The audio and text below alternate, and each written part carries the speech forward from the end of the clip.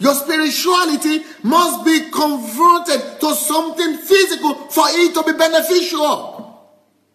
Only when God Himself, even God, because this is His order, He is the one who created things to be like this. And He will not violate His own rules and principles. So, you guys who are children, who are my countrymen, you are coming from Africa or from Nigeria, and we have so many churches in Nigeria, Pascua Meter or Jamaica, that's the most churches, Pascua Meter in the world. And in Nigeria, you have all these churches. It will not benefit anybody anything unless we learn conversion.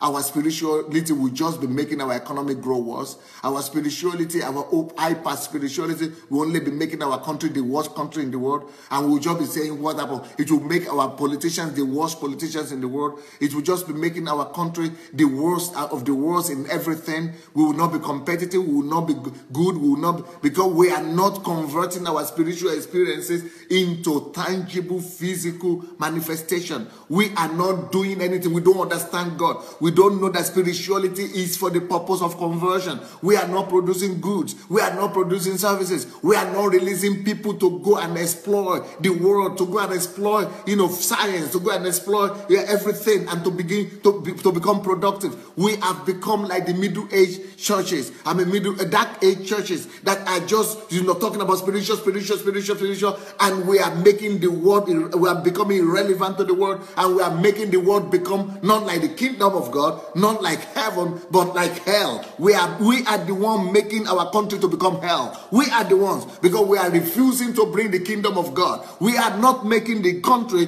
to be to reflect heaven. Thy kingdom God come. That's what Jesus said. Thy kingdom come. We should bring his kingdom here to the earth. We should make sure that our country becomes like his kingdom. We should make sure that his our country reflect his kingdom. We should make sure that we bring heaven on earth. We make sure that our earth reflects reflects heaven. We should make sure that where we live is like heaven on earth. If we are not doing that, we are bringing hell. We are the ones responsible. We are the ones to blame for our countries turning to hell. We are the ones blaming to blame for the armed robbers, for the thieves, and for the you know, kidnappers, for all the militants, everything. Because we are not going to take responsibility to convert our spirituality to bring heaven to those places where the militants are, where the Muslims are, where the you know the, the kidnappers are and everything. We are not converting the earth to heaven. And as long as we are not doing that, as long as we are running away from the world, as long as we are running away from the church, I mean from the darkness, as long as we are running away into lock ourselves in our churches, hell will begin to prosper, hell will begin to grow, hell will begin to increase, and heaven will be far and far, far away. And we will only taste heaven when we die. But God wants us to stay, taste heaven here.